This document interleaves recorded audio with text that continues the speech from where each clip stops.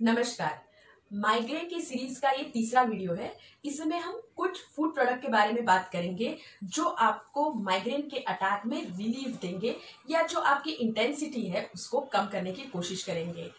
I am doctor Sonal Kolte clinical dietitian weight loss expert and nutritionist you are watching food talk by doctor Sonal Kolte अगर आपको ये channel अच्छा लगता है तो please subscribe कीजिए और अगर ऑलरेडी सब्सक्राइब्ड है तो शेयर कीजिए फेसबुक या ट्विटर पे।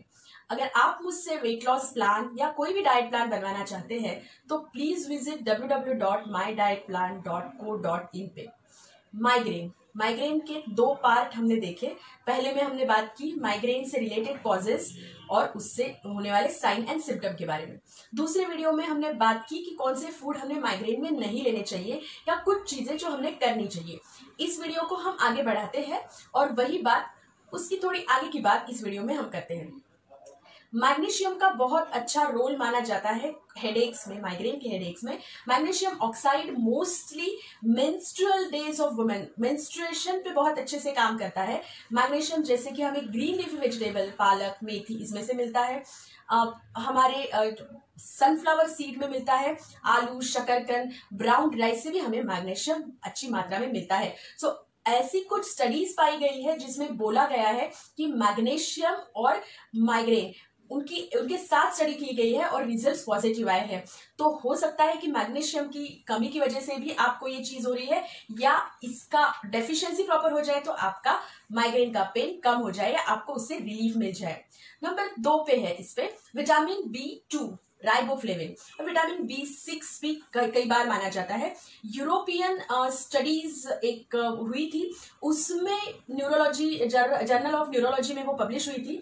उसमें इनका रिलेशन बताया गया है कि हाई डोजेस ऑफ़ राइबोफ्लेविन अगर आप लेते हैं तो बहुत मात्रा में माइग्रेन के अटैक्स कंट्रोल में आ जाते हैं। उसकी फ्रीक्वेंसी कम हो जाती है। अगर बहुत कंटिन्यूएशन में आपको माइग्रेन्स के अटैक आ रहे हैं तो उसको कम करने का काम विटामिन बी टू और विटामिन बी सिक्स और इवन विटामिन बी ट्वेल्व भी करता है। सो बी ट्वेल्व के सप्लीमेंट्स भी दिए जाते हैं और डाइट में भी विटामिन बी ट्वेल्व आपको मिल जाता है। Vitamin B two B six B twelve आपको ड्राई फ्रूट्स नट से मिल जाएगा। वेजिटेबल्स में हमारे मिलता है फ्रूट्स में हमें मिलता है। सो so, जो फ्रूट्स मैंने लास्ट वीडियो में बोले हैं वो मत खाइए क्योंकि उससे ट्रिगर हो सकता है। बट आपकी फ़ूड डायरी आपको ज़रूर ये चीज़ों में हेल्प करेगी कि आपको कौन से फ़ूड खाने हैं, कौन से इंक्लूड करने हैं, कौन से एक्सक्लूड करने हैं। तो फ़ूड डायरी वाली बात आप बिल्कुल नजरअंदाज मत कीजिए। जिंजर टी के बारे में भी कुछ स्टडीज़ मैंने देखी मैंने ये पढ़ाई करते दौरान कुछ स्टडीज़ देखी जिसमें कुछ स्टडीज़ में बोला गया ginger is contra contraindication है दोनों में। जिंजर जिंजर लेना चाहिए और लेना नहीं चाहिए। बट आप अगर कम मात्रा में लेते हैं तो जिंजर बहुत अच्छे से काम करता है आपके माइग्रेन में। वैसे भी हेडेक्स को थोड़ा सा आप हॉट बिवरेजेस जब भी लेते हो तो आपके हेडेक्स मिनिमाइज हो जाते हैं। So ginger tea might be helpful तो आप लेके देखिए, आपके फ़ूड डायरी में नोट डाउन कीजिए। कैफेन या कॉफ़ी लेने की बहुत लोगों को आदत रहती है जो फ्रीक्वेंट और बहुत मात्रा में कॉफ़ी लेते हैं जैसे कि रोज का रूटीन है दस बारह कप ऑफ़ कॉफ़ी वो ले रहे हैं तो माइग्रेन होने के चांसेस या माइग्रेन का अटैक आने के चांसेस आपको ज़्यादा है। सो so, जब भी आप ये सोचो कि आप कॉफ़ी की वजह से आपको रिलीफ मिल जाएगा तो शायद आप गलत सोच रहे हो। कैफेन अगर आप एक हाथ बार लेते हो फ्रीक्वेंसी ज़्यादा नहीं चाहिए और ना कि उसका इंटेक हमें ज़्यादा चाहिए। कैफेन इंड्यूस करता है माइग्रेन को। लेकिन वंस वाइल वो आपके लिए दवाई का काम भी करेगा।